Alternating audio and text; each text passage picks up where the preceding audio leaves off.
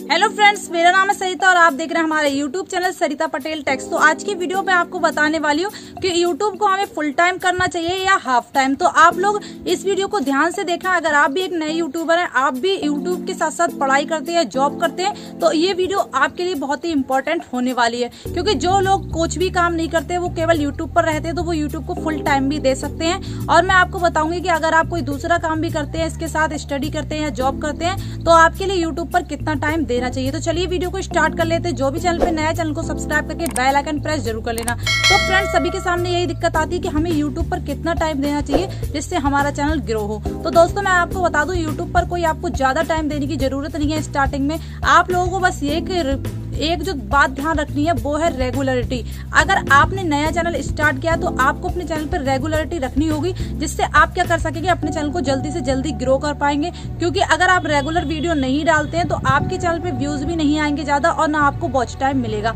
तो मैं आपको बताऊँ, अभी शॉर्ट वीडियो का भी बहुत ज़्यादा क्रेज चल रहा है। अगर आपको सब्सक्राइबर हासिल करने हैं तो ज़्यादा से ज़्यादा शॉर्ट वीडियो अपलोड किया, कीजिए। और वॉच टाइम अगर हासिल करना है तो आपको दो से तीन मिनट की वीडियो तो डालनी ही चाहिए। स्टार्टिंग में आप दो से तीन मिनट की वीडियो डालिए तो आपके चैनल पे वॉच टाइम इंक्रीज होगा। फिर मैं आपको बताऊँ, अगर आप जॉब करते हैं या आप मतलब स्टडी करते हैं तो आप यूट्यूब को एक से दो घंटे का ही टाइम दीजिए। इससे ज़्यादा आप यूट्यूब को बिल्कुल भी टाइम ना दें क्योंकि अगर आप एक वीडियो डेली बनाते हैं तो ज़्यादा में ज़्यादा आपके वीडियो के लिए एक घंटा लगता है। उसमें आपकी वीडियो शूट भी हो जाएगी एडिट भी हो जाएगी और अपलोड भी हो जाएगी।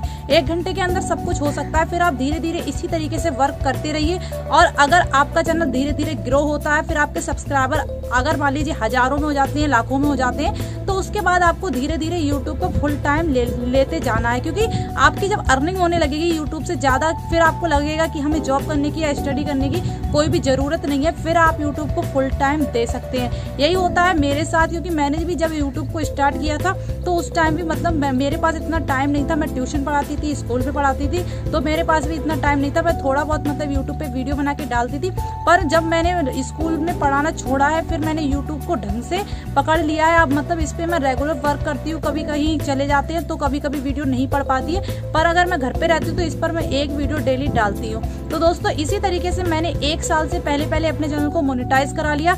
अब धीरे धीरे अगर मेरा चैनल ग्रो होता है तो मैं यूट्यूब को फुल टाइम करूँगी, क्योंकि मुझे फिर मेरी अर्निंग का साधन ही यूट्यूब हो जाएगा तो मुझे फुल टाइम करने में कोई भी दिक्कत नहीं रहेगी। तो आप लोग भी समझ गए होंगे, अगर आप लोग जॉब या स्टडी करते हैं तो आपको यूट्यूब पर केवल एक से दो घंटे देना है। और उसके बाद अगर आपका चैनल धीरे धीरे ग्रो हो जाता है तो आपको यूट्यूब को धीरे धीरे फुल टाइम में ले आना है, क्योंकि यूट्यूब ही हमारी अर्निंग का साधन हो जाएगा हमें फुल टाइम भी करने से कोई भी प्रॉब्लम नहीं होनी चाहिए। तो फ्रेंड्स आप समझ गए होंगे, अगर आपकी यूट्यूब से अच्छी अर्निंग होती है तो आप जॉब भी कर सकते हैं, साथ साथ स्टडी भी कर सकते हैं और यूट्यूब को पार्ट टाइम कर सकते हैं। अगर अगर आपका चैनल ग्रो भी हो जाता है तो। आई होप आप लोग समझ गए होंगे। अगर आपको ये वीडियो पसंद आई हो तो वीडियो को लाइक करके चैनल को सब्सक्राइब ज़रूर कर देना। तब तक के लिए टेक केयर बाय बाय मिलते हैं आपसे सही नेक्स्ट वीडियो में।